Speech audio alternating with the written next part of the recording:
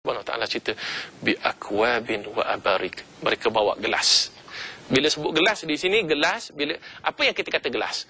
Gelas iaitulah satu alat untuk kita minum yang tidak ada yang tidak ada belalai. Ah, belalai itu maknanya muncung macam cerik dan dia tidak ada tempat pegang. Kalau ada benda pegang tu kita kata cawan. Ha, ini yang dikatakan gelas. Di mereka bawa gelas-gelas wa abarik, bawa air. Abarik mimma'in daripada air yang mengalir. Air yang mengalir ni apa dia? Iaitulah keluar daripada bumi air, mata air. Tengok atas dunia cukuplah muslimin muslimat. Bila sebut air mineral, satu botol lebih mahal daripada air yang berasa. Air yang ada gas, air yang ada rasa. Air mineral. Muslimin dan muslimat mungkin tak pernah mencuba. Saya pernah mencuba di Bosnia Herzegovina. Ada satu air di, dinamakan air keseliak. Nama dia keseliak. Begitulah. Uh, di sebelah Teshan. Nah, saya tahulah kerana saya pernah pergi sana. Air memang air mineral dia keluar daripada bukit. Saya cukup suka ambil air tersebut. Kadang-kadang saya bawa tong. Sebelum sekarang ni dia sudah diusahakan. Tak silap saya diberitahu satu syarikat daripada Perancis sedang mengusahakan air tersebut. Air itu sentiasa keluar. Air itu ada gas. Air itu dia ada gas. Bila kita letak dalam uh, apa ni gelas, kita bubur dalam gelas, kita bu tuang tuang orin dalam. Dia macam air orin yang ada gas. Macam-macam jenama jenamanya popular, bahkan lebih sedap lagi. Pasal apa? Air itu air yang pure, air yang asli, air yang bukan orang pergi cucuk gas dalam. Tak ada. Memang hebat. Kalau kita bubuh dalam tepung, nak buat roti, tepung jadi tepung naik sendiri. Dia terus naik cukup hebat. Um, tahun lepas saya pergi Bosnia, saya pun rindu nak minum air tersebut. Memang hebat sangat. Bayangkan dalam syurga. Hak atas dunia boleh buat keuntungan yang sebegitu. Menjadi pelaburan bagi negara Bosnia Herzegovina. Boleh menjadi satu kekayaan orang yang memiliki tanah tersebut. Bayangkan dalam syurga, tak ada orang terkecuali. Tak ada orang yang tak boleh minum. Ah itu mahal. Atas syurga uh, dalam dunia mahal. Oh, kena beli. Dalam syurga tak payah beli. Tak payah nak bayar. Berasa nak dapat. Itu yang kita nak. Ha, jadi sekarang ini Allah Subhanahu Wa Taala sebut kita akan didatangi oleh wildan mukhalladun. Tadi pelayan-pelayan yang akan sentiasa. Saya pernah pergi hotel. Saya pernah pergi hotel. Kadang-kadang dijemput makan kat hotel.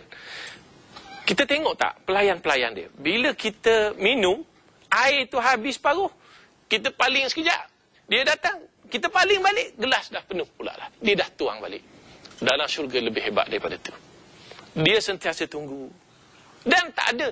Kalau kalau atas dunia, kita kata, eh, sudah-sudahlah kenyang sangat. Nanti tak larat nak minum. Dalam syurga, tak ada istilah lapar. Tidak ada terlalu kenyang. Kalau dituang, kita boleh minum. 10 gelas, 10 gelas kita boleh minum. Dan kita tak akan rasa terlalu kenyang. Dan kita tak ada rasa dahaga. Minum dalam syurga, nikmat. Apa bila sebut nikmat? Nikmat kalau terlalu banyak, dia tak jadi nikmat nak bawa perut sampai tak larat. Ha, itu menjadi bala pula. Tapi dalam syurga, semuanya minum adalah nikmat. Wakatsin mimma'in. Dan macam mana kita nak dapat? Ha, ini persoalan dia sekarang. Muslimin muslimat kalau betul kita rasa kita naklah minum air daripada yang Allah nak kurniakan ini. Kalau boleh saya sebut bahasa Melayu, bahasa yang mungkin boleh kita pinjam dengan tidak padan untuk kata dalam syurga, mineral syurga lah kita sebut begitu. Dalam syurga ni lebih hebat dari mineral. Cuma saya tak tahu bahasa apa yang boleh kita gunakan untuk syurga. Kalau kita boleh minum air mineral daripada syurga tersebut, macam mana kita nak? ada jalan dia. Rasulullah ajar dia, Rasulullah kata apa?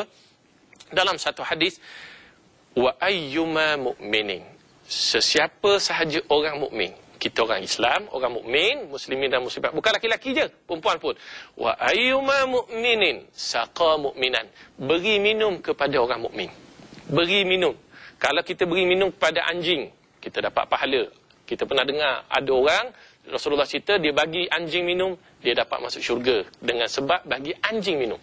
Kita bagi minum kepada orang yang tidak Islam, kita tetap dapat pahala. Tapi kalau kita bagi minum kepada orang mukmin dan orang mukmin itu ala zamain terlalu dahaga. Dia sedang dahaga, dia mukmin, kita bagi dia minum. Saqahullah yaumal qiyamati minar rahiqil makhtum. Allah pasti akan bagi dia minum satu minuman arak dalam syurga yang diberi nama Ar-Rahiq Al-Makhtum. Muslimin dan muslimat yang dimuliakan. Firman Allah Subhanahu Wa Taala melalui surah Al-An'am ayat 125 bermaksud Barang siapa yang Allah kehendaki akan memberikan kepadanya petunjuk. Nescaya dia melapangkan